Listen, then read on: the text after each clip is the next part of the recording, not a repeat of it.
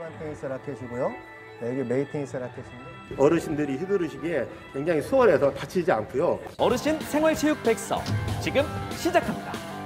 오늘의 생활체육은 바로 테니스인데요. 기... 아, 안녕하세요. 네, 안녕하십니까. 기존의 테니스랑 이거는 매직 테니스라고 하는 운동입니다. 매직 배우기가 굉장히 쉽습니다. 하루만 배워도 바로 게임을 하실 수 있어요. 말랑말랑해서 맞아도 어, 다치지 않을 수 있고요. 또 실제로 쳤을 때도 크게 부담이 되지 않습니다. 충격이 없습니다. 공이 떨어지지 않도록 가만히 서서 위로 올라갔다 내려올 수 있고 몸이 경직되지 않게 무릎을 살짝 굽혀주면 공을 다루기가 쉽다고요.